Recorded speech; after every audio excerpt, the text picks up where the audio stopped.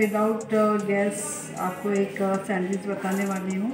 इसके लिए मैंने ये ब्रेड लिया है वाइट ब्रेड इसके मैंने एक कॉर्नर्स कटिंग कर लिए हैं। नमक, पीसी काली मिर्च, मक्खन, खीरा, प्याज, टमाटर और ये सॉस सबसे पहले दो स्लाइस लेंगे।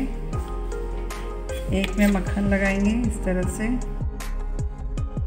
वेजिटेबल सैंडविच इस तरह से पूरा मक्खन लगाएँगे। और एक में सॉस।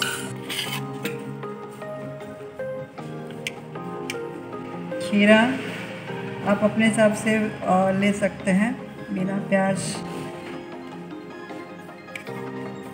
मैंने गोल कटिंग नहीं की है।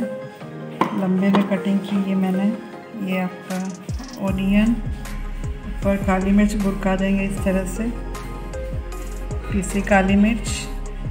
आप इसमें हरी चटनी, हरे धनिया की चटनी भी ले सकते हैं। थोड़ा सा नमक टेस्ट के अनुसार।